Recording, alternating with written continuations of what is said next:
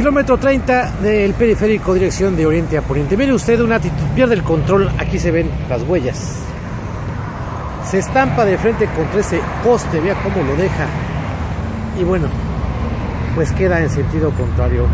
El conductor se encuentra lesionado, al parecer no presenta heridas graves, está atendiendo eh, o hace, está siendo atendido por paramédicos de la Cruz Roja de la ambulancia 030 y bueno pues aquí vemos el tremendo impacto que recibe este actitud repetimos kilómetro 30 del periférico dirección de oriente a poniente